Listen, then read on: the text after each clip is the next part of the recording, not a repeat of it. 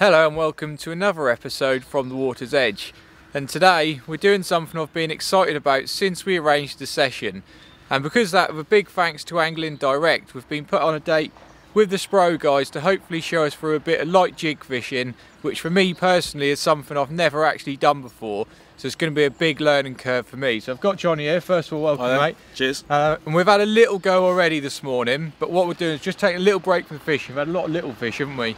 But hopefully we can talk you through a bit about the tackle we need, because like I said, for me, I'm learning as well, and for hopefully anyone who's not done this sort of fishing, it was really simple, and that was what I liked about it. So I suppose let's start off with the basic basic. What is jig fishing or soft bait fishing that we were doing earlier? Uh, it's, it's basically a, a stripped down form of fishing where you've got essentially a rod, a reel, line, and a weighted hook. On that weighted hook, you put your lure. In this case, we were using um, A little array of different array weapons soft plastics. Uh, we've got the paddle tails, like these, which obviously they're ribbed and have a have sort of a enlarged area at the, at the end, which which uh, pushes the water through it, which then will, will put the action into It was it. amazing when you, you showed me like just uh, yeah, literally how much movement that creates. Oh, from, yeah. from doing pretty much nothing. It just like that. You can see why they hit it. it doesn't take a lot to make that. You can see the way I'm holding it now. The, the tail is just moving all over the place. Literally without moving your hand and that. And then the other types we have are the split tails like this, which again have lots of movement, but when they're in the water, they, they keep a more of a straight profile and they don't move quite as much. They, certainly in the winter time, uh, less is more. Yeah. So you put one of these on, you don't get quite the erratic movement that you would do with, with the paddle tail. And is there any different? Obviously, there's loads of different colours and that. Does it make a difference? Do you think it makes a difference? Um, it does make a difference, but it's not the be all and end all. Um, so in very clear water, I'll always go for a natural and Yeah. more natural pattern. Um, so I'd go for maybe white and silver. I know you said this morning like that was pretty, that was your favourite one. been- Yeah. But then if you get slightly more coloured water, I'd probably go for a, a brighter colour, maybe something with a bit of orange in. That always works well. Uh, fluorescent white is always good. You know Yeah. that really shows up in in uh, coloured water well. But it's more about just giving it a giving it a try and seeing Just what playing with it yeah by the day. and then whatever works, stick to it. Brilliant. So let's move on then to a little bit because it's obviously not all about it lures. You um you've kindly lent us some some of the tackle today. So let's have a little look about the rods to start with. Then what rods do you need to do this style of fishing as well? Lightweight. It's, it's all about being as light as possible. So it almost looks like a little quiver tip rod, doesn't it, at this that's, end? That's essentially what it is. Um, you know, this is a a solid tip on this rod, um, but very light. I, I think this one's about seven to twenty-eight gram. And it was them tiny little movements. I suppose that light tip makes that that little jig move that in water. like you were saying. and yeah, coupled with the braid, everything you do down here, you want transmitted through the tip and put into the lure. So that's the importance of that rod. Yeah, that's right. And um, it, depending on different circumstances, you might want more length, shorter. You know, um, but really, it's, it comes down to having that that soft tip and being able to transmit everything through to the lure. So And then we're down to little small reel. yeah, lightweight reel. No need to have a, a big reel. Mainly fishing for small fish, so you don't need Everything was nice and there. close as well, Yeah, wasn't it? There was right, no yeah. casting about that. No, And then obviously I'm assuming quite important is obviously having the braid on there. The braid, yeah, the braid is, is the be all and end all really. Um, the difference you get through braid fishing, feeling every tiny little knock, every you know, every time you touch a little bit of weed or anything Yeah. like that, you can just feel it come right the way through. Um, So on this one, you've got it coming down to a wire trace, but on this one I noticed we had it coming down to fluorocarbon, leader. fluorocarbon, yeah. So the difference and why, why, why would you say the difference is between them? Well, the reason I always put a wire trace on is when I'm when I come to a new piece of water, I always like to put a wire trace on because anywhere you got pike, Yeah. you know, you always stand a chance of, of hooking one.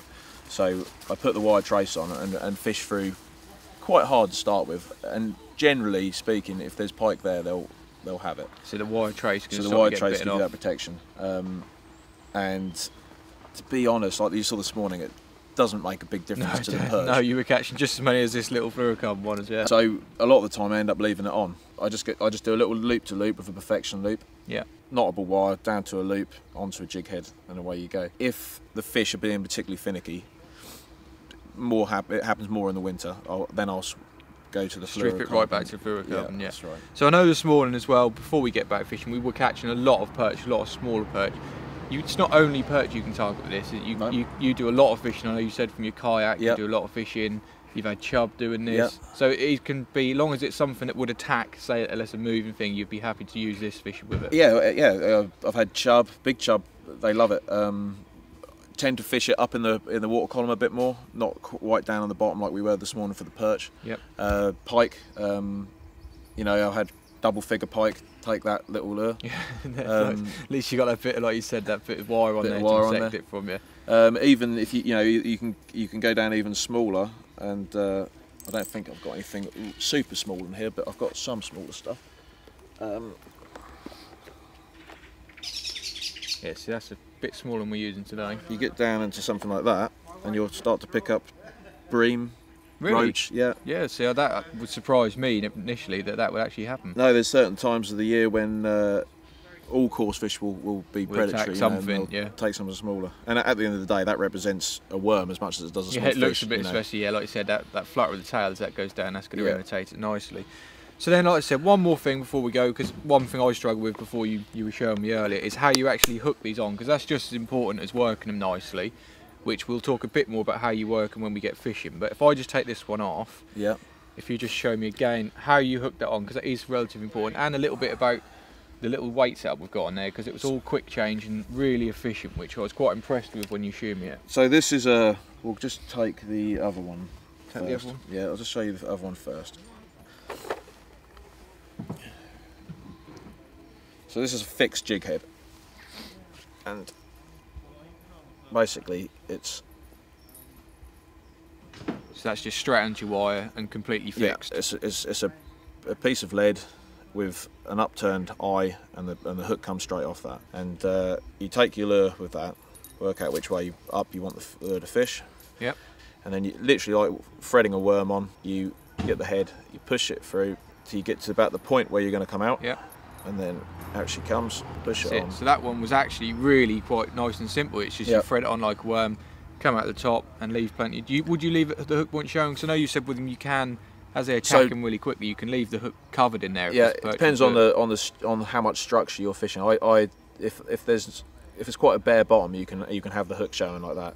If there's a bit of structure about, and you and weed especially, you can uh, stick them in. So you'd actually almost leave the hook sort of covered within that You little rubber it bait, a little bit. a little bit better, so, it's, so it's not so much weed and stuff like that. That's right. But then if there's if you're still getting trouble from weed, then you can go on to what we have here, See, this one was what I was. which is a, a worm hook, which is which you allows you to fish it weedless.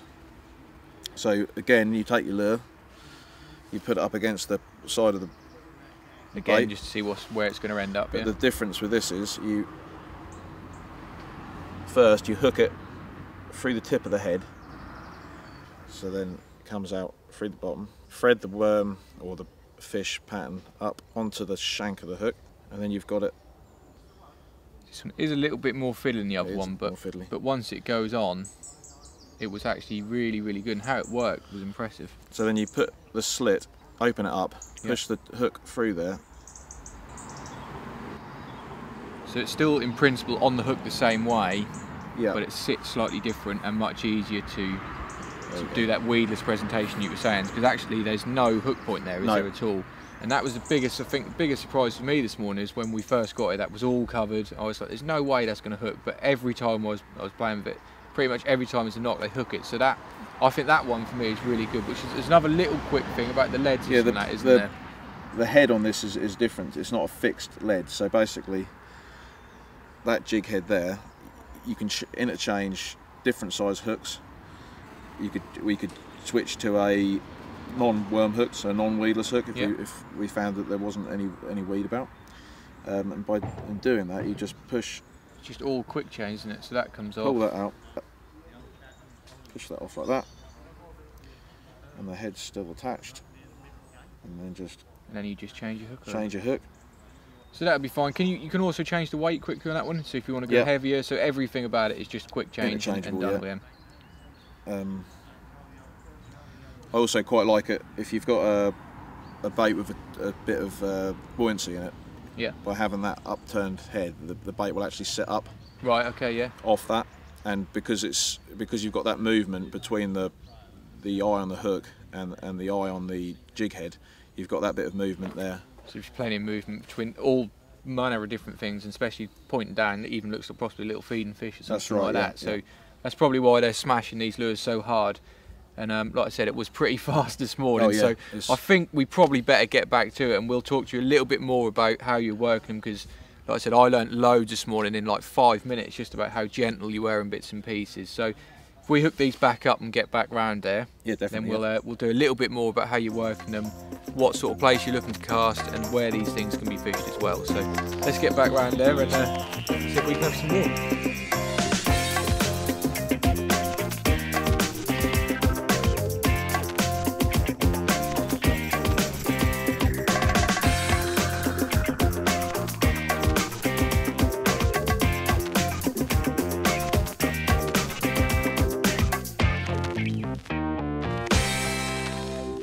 So after having a little look at the gear, we're back round here fishing again now. I've got my rod behind me, see what I can learn from Jonny. So, like we said earlier, a bit about how you actually retrieve it in that. So you're just literally making small movements. it's all about transferring this down into the water to your lure, and it's about using this braid and the and the light tip, like we said, to maximise the um, the movement or or minimise the movement depending on what the fish you know want. So it's, it's all in the in the fingers and the wrist. So each time they'll be wanting different. Sometimes they want it faster, slower. So it's all about working on the day. Yeah, that's right. Yeah. It's really is amazing. Like literally, you, you turn that handle at like almost not even turning it really. It's just about keeping in touch, always keeping in touch. And, and as we found this morning, these fish at the moment are, are taking it just as the, the lure's coming up, and then on the drop, Yeah. that's when they're having it. I know that was one of the first things you said to me. You noticed that within three casts, and I, I was a bit like, "How did you notice that?" But having had a little go myself, I think everyone I hooked was as it was sinking. Uh, they just come up and you sort of feel that rattle and you're on. That's the, the the little things that you've got to pay attention to. Is, is just knowing when that fish is taken, so you can so you can react to that and, Yeah. and, and do more of it. I Um, suppose that must that must just come with experience because like, you you literally done it in a couple of casts, which I would have done, but you've done a lot of this sort of fishing, so with a bit of experience, you'll work that out pretty quick. it is enjoyable as well. So it does. It's one of the things that um, once you start to do it, you, you soon get hooked. So you, you you tend to do more and more Yeah, I of it. think so- I'm going to buy myself a little bit. So where we are as well, this is a perfect sort of area. Is it? Obviously, we've got boats around, like perfect cover and, and bits and pieces. That's what you'd be looking for. Yeah, loads of structure, um, dramatic change in depth. Um, there's there's a bit of weed in the water as well, which always helps holding the bait fish. Um, they're, they're, they're generic sort of uh, predator spots really, um, but the perch do particularly like these these um, like close to the to the edges Right here. close, yeah. Yeah, under the pylons and. Um, So would it work just as well on, say, like a big open river, or is it not really the place to use it? It's, it's wouldn't be as effective. Um, you, there's certainly you can use it, but anyway, you've got a lot of flow. Obviously, you have to increase the weight Weight that you're using, and then good for that little quick change weight. Then if you're right. moving places, different places, have another go now because there was loads of perch here earlier. I'm sure see if we can get one. within the next couple you'll um There's a you'll little- having one. Little bit of a drop off out there where there just seems to be a bit of a shoal. Not- and you just sort of you're feeling for that rattle, aren't you? Yeah, that's not right, Like, yeah. You're not really waiting them like a, a pike probably would, but it's not a real smash and grab. It's sort of just feel that rattle through the rod tip. don't know if that boat was up, I upset. think these boats have yeah, obviously from this morning it's quite a lot, lot more colour. Would that Yeah. encourage? Would you use a brighter lure or how, Um, how often would you change on that subject? Would you change all the while or? it's all about confidence, really. So as long as you're confident what you're using, then then stick with it. But as soon as you start to doubt something, doubt something, have a change. You know, that's what that's how I work. If I, if I doubt something, I, I change up until I find something that wor- works again, and then beco- become confident again. Um, obviously, if there is if there is a, a lot of colour in the water, then you do want something that's going to show up and be brighter a bit brighter. that, yeah. yeah. Um, hello, just had a little, Little nibble. inquiry there. So I can almost see just watching your line that sort of, as it drops. I see that little rattle just watching the end of the rod. And always fish right into your feet. You never know where they're going to be. You know, often there'll be as many fish right by your feet. So with that little inquiry that you've obviously felt felt a little rattle, is that the time to let it drop Yeah. or is it speed it up? What what's the process of when you do Very that? often, if you get a little rattle like that, you let it drop right to the bottom, and just on the next twitch he'll have it And then again. right, so it's Always clear your. Let's come off, but never want to recast with any um, any muck of any kind on your on your lure or your hook because uh, the fish will pick up on it. surprising how well they work though. There's a lot of lot of stuff on the surface and they're not catching it at all, are No, they? no. We've been here 10 minutes, we're actually having a break. As soon as, Hello. Oh. Third time lucky, mate. It didn't take long, did I? Like I said, there was a lot of them here earlier. Still a wee little one, but Great fun though.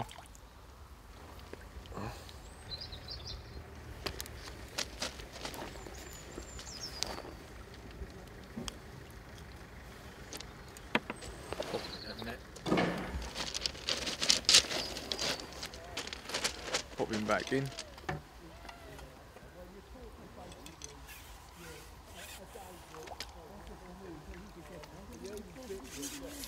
He's gone. So there's notice as well, one thing you are certainly doing is you've literally got next to nothing, haven't you? You've got a rod, a little jig, and then a bag. Literally, that's all you got. that's isn't all. it? You- that's all you yeah, need. that's it. You've got a little net as well. It's one of the beauties of this is this method. You really do not need a lot of gear. You know, it is just about the rod, the reel, your line, and your baits. Little So, selection of baits. In here, I'll have just a few packets of different hooks, just a wallet with a few different soft plastics in. Oh, there's different baits and that in there as Yeah. well. Yeah. So basically, you you can move well just all the while, really, Yep. can't you? So one spot no good, you're off to the next one, trying to find some fish, and you're doing like that. And relatively, actually, if you're starting out, cost-wise, is pretty cheap oh, as well, isn't it? it's it? very cheap. Yeah. Um, you know, there's very good rods on the market now for 50 50 pounds. Yeah. know, and, so and reels as well. getting into fishing, this would be a cracking way to start someone off in a, Oh yeah, a little adventure in, into fishing. definitely um, really nice method for kids it's you know once you it's not it's not the hardest method in the world um, and also the as you can see as we had this morning you know when you find fish you, Yeah, you do catch it was a lot of great this morning. Weren't it? Like literally, like every other cast was one. But I think I'm gonna um, I'm gonna grab. I've watched you catching off now. I'm gonna see if I can uh, see if I can have a couple as well. So I'll grab the old rod up. Well, we just popped round to the other side. We left Jonny fishing over there, and I'm gonna see if I can put some stuff into practice that. Oh, little touch of that he showed us earlier. So, like I said, I've never done this before, apart from the half an hour perhaps that I fished this morning. And um, doesn't take long for you to work out in your head bits that we were talking about earlier and how you can see how things work and what you need to be doing. Not just letting that sink. It's a little bit deeper on this side. The only reason I moved is because the boats were stirring up quite a lot of the silt and that from the bottom. It's a little bit clearer around here and touch deeper. We're losing a lot of the water with the tide. See if I can uh, catch one for myself. Well, here we go. My lesson in jig fishing has paid off. Not the uh, not the biggest perch, but there's loads of these little fellas out there, and it's just great fun. Like I said, something I've never done before. To come out, catch on, a new tactic, new information. It's all good fun. So let's uh, quickly unhook him. We'll slip him back.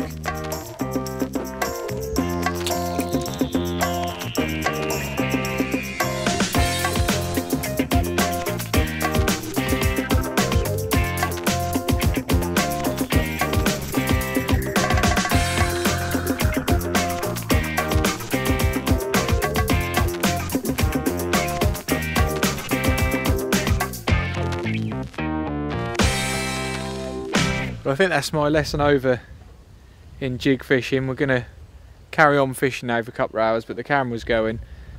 And obviously, I'd like to say a big thanks to Angling Direct, Spro, Gamakatsu, and obviously Jonny for giving us away all his tips and tricks that he's honed over the years. There's certainly going to be something. Oh, there we are. Look, one in the last go. Certainly going to be something I'm going to be investing in. Get myself a, a little rod and reel. But for now, little perch to end with. And as always, a big thanks for watching, and we'll see you again on the next one.